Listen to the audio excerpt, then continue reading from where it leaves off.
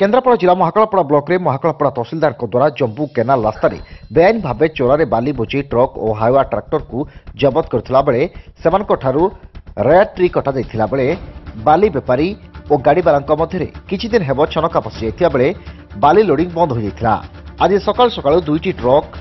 বালি loading করে নিয়ে আসুক সময় মহাকালপড়া তহসিলদার সৌভাগ্য রঞ্জন পণ্ডা হাবুড়ে পড়ে শ্রী পণ্ডা ট্রক দুইটি আনি মহাকালপড়া থানা হেফাজতের ছাড়ি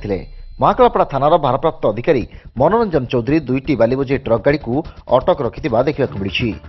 ମହାକାଳପଡ଼ାରୁ ଜନ୍ମଜୟ ମଲ୍ଲିକଙ୍କ ରିପୋର୍ଟ ଏସ୍ ନ୍ୟୁଜ୍ ଓଡ଼ିଆ